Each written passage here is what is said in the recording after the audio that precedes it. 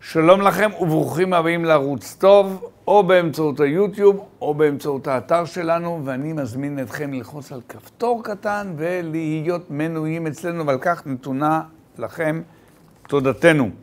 אורחנו היום בטור החיים על פי חיים, חיים רמון. שלום לך, השר לשעבר חיים רמון.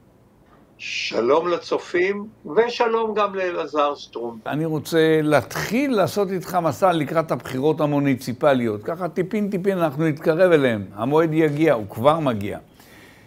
ואתה הזכרת את לפיד, ואני נזכר שאדון לפיד, אם אינני טועה, אמר שהמבחן האמיתי של המפלגות ושל המפלגה שלו, שכידוע לא, לא בשיאה, היא מדשדשת בסקרים, אמר שהמבחן יהיה בבחירות המוניציפליות. ואתה מה אומר? דברי הבל.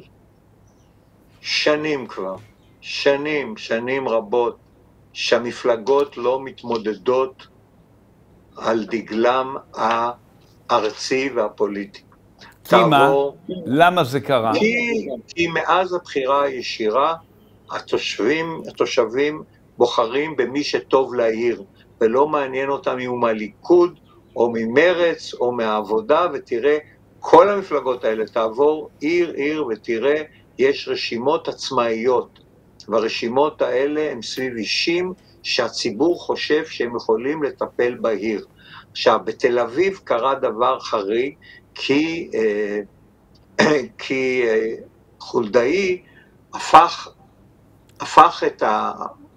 הוא מזדהה כאיש מאוד פוליטי, ולכן כל הימין בתל אביב לא יצביע לו, בעיקר עכשיו, ויהיה, אה, וזה ישתנה לחלוטין, אבל אין מספיק ימין בתל אביב בשביל לנצח. אבל אם יהיה מועמד מהימין, לא, והוא ילך על. נגד, נגד חולדאי, הוא יוכל לקחת הרבה אחוזים, אני חושב שהימינים הדתיים בתל אביב קיבלו 35 אחוז, משהו כזה, אם לא יותר, והם, הוא יוכל לקבל את הקולות האלה. אין יותר מפלגות, הסתיים עידן המפלגות. לשמחתי גם בהסתדרות אין uh, מפלגות, כי לא היה צריך מפלגות, יש לי חלק קטן בזה שזה כך קרה, כן. ובעיריות מאז הבחירה הישירה נעלמו המפלגות, הם כמעט, מה שיש זה מפלגות מאוד סקטוריאליות, דתיים, uh, ירוקים, uh, מאוד uh, ליברליים, אנטי דתיים חיצוניים, אבל אין מפלגה, אף אחד לא מצביע לליכוד או לעבודה או ליש עתיד, ולכן אה, אם הוא חושב שזה יהיה המבחן למפלגות, הוא טועה כמעט בשום מקום לא ירוצו עם דגל מפלגתי. גם חולדאי לא רץ עם דגל מפלגתי כבר שנים. נכון. אני רק אה, אוסיף משהו שוב על דבריך. מלבד בציבורים המאוד מוגדרים כציבורים חרדים, שם עדיין למפלגות של החרדים יש... אני אמרתי, מפלגות דתיות, כן, כן, נכון, כמו ש"ס, חרדים, פה ושם ציונות דתית, יש. פה, אה, בצד השני, אה, צמחונים, טבעונים, ירוקים, יש קהל, יש קהל, אבל הם לא יצביעו אלא לפי, לפי הלהט"בים. אה, מפלגה להט"בית, תזכה בקולות, ודאי בתל אביב, באזורי המרכז. וכל הדברים זה לפי, לפי סביב נושא, לא סביב מפלגה.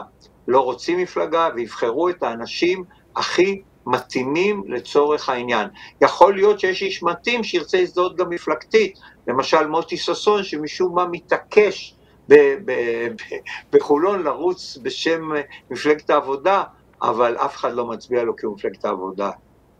רובי דנילוביץ' התחיל כמיש מפלגת העבודה, אני יכול לתת לך, אני הייתי שר פנים, זה הלך והתרסק, והמפלגות לא יקבלו את, המפלגות אין משמעות כמעט בשום מקום, חוץ מהסוגים שאני דיברתי, דברים מאוד סקטוריאליים, מפלגות ארציות, ליכוד, יש עתיד, מחנה, המחנה הממלכתי, כל אלה הם יכולים לתמוך, יכולים לזכות, יכולים לשלב אנשים, אבל אף אחד לא יצביע להם בגלל זה. תודה חיים.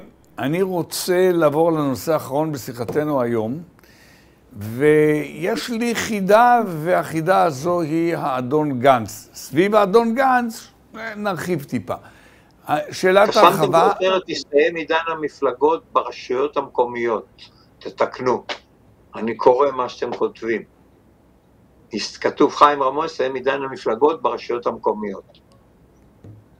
שמעתם ב control, הם שומעים, שומעים. הנה, קיבלתי אישור שזה יתוקן. טוב שמישהו קורא את זה ככה על חי. תשמע, חיים, אני מסתכל בשני ג'נטלמנים נכבדים מאוד, אדון לפיד והאדון גנץ, ואני רואה את המהפך בכוחות ביניהם, זה עלה, זה ירד, די, וזה נשאר די יציב. עברו הקרבות בדרום, זה נשאר יציב, ואני שואל אותך, האם המספרים הללו יישארו יציבים?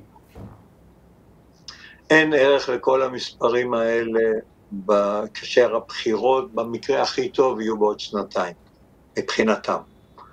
היום יעבור התקציב השבוע, אל תתרשם מכל הרעש מסביב, התקציב יעבור, הממשלה מקבלת שנתיים של שקט, אי אפשר להפיל אותה, צריך 61 וזה יהיה כמעט בלתי אפשרי, ולכן כל זה שעשועים, זה שעשועים של ערוצי תקשורת, וכולנו אוהבים פשוט בזבוז כסף וזמן, ואסור להתרחב. כל כך הרבה דברים יקרו. אתה רוצה לדעת מה היו תוצאות הבחירות? דבר איתי ארבעה, חמישה חודשים לפני, אני אנסה, אני אנסה להעריך, אני אף פעם לא מתנבא. על סמך ניסיוני הטוב, על סמך ניסיוני הטוב איתך בבחירות הקודמות והקודמות לקודמות, זאת נעשה, הנה עסקה. אוקיי. אוקיי. עכשיו, אחרון אחרון חביב, זו, אני לא אשאל את זה כמו שזה רשום שם, אני רוצה לטפל קצת באדון גנץ, ולהבין מה מניע אה, אותו. הוא דווקא לא שתק, הוא לא שתק מול המתקפה, הוא אמר. מה מניע אותו? מתי שמעת אותו מדבר על הנושא החרדי? לא, הוא אמר שדברי השטנה והבלע של, של, נו, של הגברת גליה גוטמן, גל, גליה כן.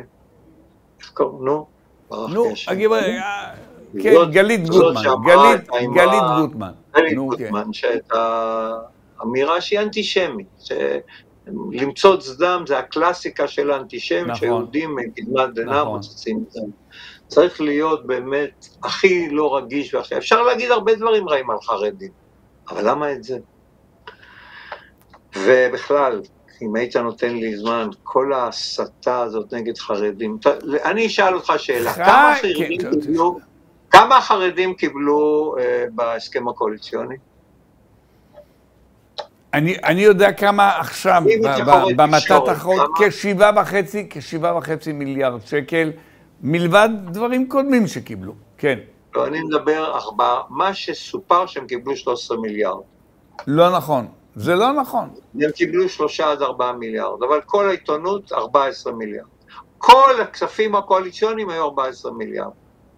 וממי זה לא בא? לא עכשיו, אתה בטח קורא עיתונים ושומע את הערוצים המרכזיים. אז אתה שמעת על זה שרצו לתת מיליארד שקל, לא כשותפות בשלטון, לשני ח"כים שימנעו מהצבעה מיליארד שקל. לא, לא שמעתי. לא. אתה שמעת על זה? מי זה הח"כים? מי זה הח"כים?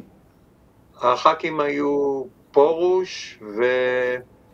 אה, נו, מבלז.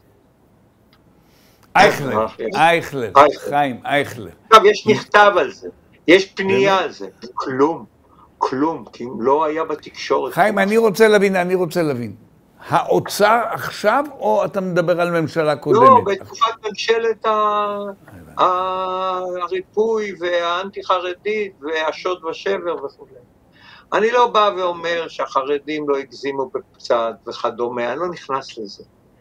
אבל מפה לעבור להסתה של שנאה לכל החרדים באשר הם, ודברים נוראים, ולראות את השנאה בעיניים, ואדם קרוב אליי הלך להפגנה.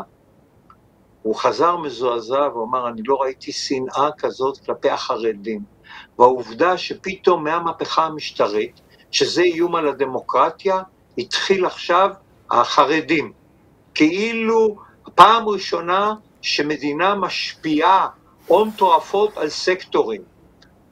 אני הייתי בסקטור, אני הייתי אחד שהזרים לא מעט ב, ב, ב, בזמנו, מזמן, לסקטור מאוד מסוים הרבה מאוד כסף.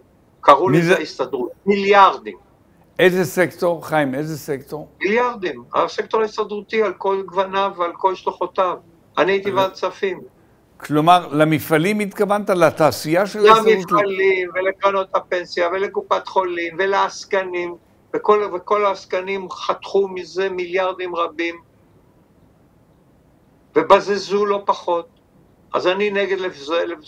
שיבזזו ונגד שיעשו, אבל, להג... אבל מפה פתאום עברו לעניין הזה. והעניין הזה מראה שזה, המחאה המשטרתית הייתה תירוץ. זה נגד תוצאות הבחירות והברית בין הימין והחרדים. ואני יכול להבין התנגדות לשינויים שרצו לעשות ברפורמה המשפטית וההפגנות, אבל חצו קווים אדומים, כמו שאני אמרתי, ועכשיו מנהלים מסע, התמונות האלה, הבוזזים עם הפרצופים של האנשים, של הדתיים, תמונות רעות, יכולת לראות את זה במקומות אחרים, אחרים, במדינות אחרות, ואם היה מנהלים קמפיין כזה באיזשהו מקום היום בעולם, מדינת ישראל באמצעות נציגיה הייתה פועלת בכל כוחה נגד מסע מהסוג הזה. זהו. ידידי חיים רמון, החיים על פי חיים. הגענו לסיומם של החיים על פי חיים, עד שבוע הבא. חיים תודה, רמון, שבוע הבא. שבוע הבא אני אוכל רק ביום רביעי, כי אני נוסע לחו"ל. אז אה, אני ארוג אליך בסבלנות רבה ואני אחכה עד שתחזור מחו"ל. נסיעה טובה, חיים אני קיי. אהרוג, ואני אהרוג קודם כל את צופיי, לא חשוב כמה הם, כל אחד יקר מפז, וגם אליך קצת. להתראות, ביי. חיים קיי, חג שמח לך, חג שבועות שמח. תודה רבה לך, נסיעה טובה. ואתם. גבירותיי ורבותיי, תודה רבה שהייתם איתנו. שלום, ביי ביי ולהתראות.